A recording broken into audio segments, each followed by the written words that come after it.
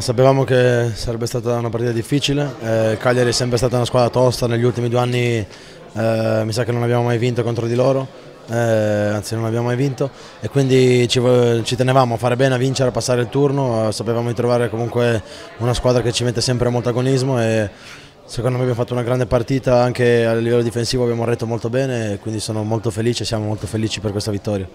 Il primo gol è arrivato proprio in chiusura, classica zona Cesarini, poi eh, con Zapata, poi Pasalic ha messo, eh, ha chiuso definitivamente la partita. Vedevate un po' lo spettro dei supplementari?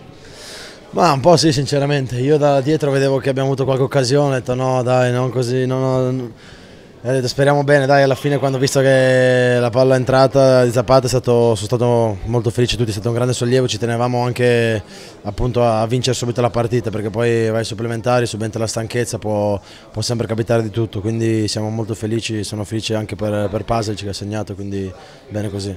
Felice anche per Pierluigi Gollini perché chiamato in causa ha risposto presente. Sì, quello è il mio dovere, dai, sono, sono felice di di aver, di aver fatto il mio e che soprattutto abbiamo mantenuto la rete inviolata.